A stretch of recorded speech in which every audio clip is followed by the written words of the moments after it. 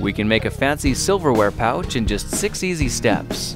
Let's start at the bottom of a square napkin and fold the two corners up so the edges line up at the top. Now take the right side and fold the napkin in half again to form a square. Fold the top left corner of the top layer down to the opposite side and now go ahead and flip the whole thing over so you can fold the right side a third of the way in, then fold the left edge back over top. The last step is to tuck the bottom corner down inside the pocket on the other, then flatten it all out. When it's flipped right side up, you can see the pouch is completely finished, so just add some silverware and set it out to impress. Of course, if you don't have any cloth napkins, these folds will work just as well with paper napkins and plastic utensils. Well, now you know how to make a simple silverware pouch. There are still 8 more impressive things to make, so go ahead and choose which one you want to learn next.